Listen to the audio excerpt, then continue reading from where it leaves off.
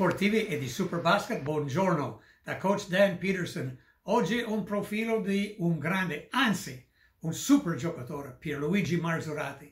In tutti i sondaggi fatti in tutti i tempi, il miglior giocatore italiano è sempre Dino Meneghin. Secondo nella classifica, Pierluigi Marzorati. Uh, poi Hall of Fame del basket italiano, Hall of Fame della FIBA, tanto per dire quanto è importante. Cosa non ha vinto in carriera? Du due scudetti con la Force Cantù, uh, due Coppe di Campione con Cantù, 3, 4 5 Coppa Corac, uh, 3 almeno Coppe delle Coppe, una Coppa Intercontinentale.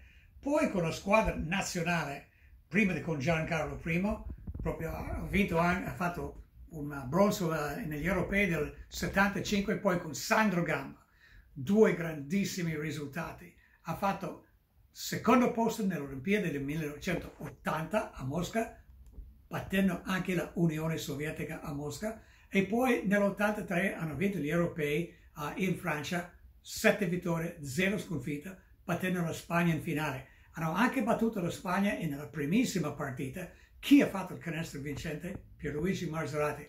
Sotto di un punto l'Italia, palleggio resto tiro di Marzorati, una palla che è rimbalzata tre volte su ferro. Qualcuno mi dice, beh, è stato fortunato. No. Quando tu fai un canestro sotto quella pressione lì, non è fortunato per niente. Grande genio, mi ha forzato la mano.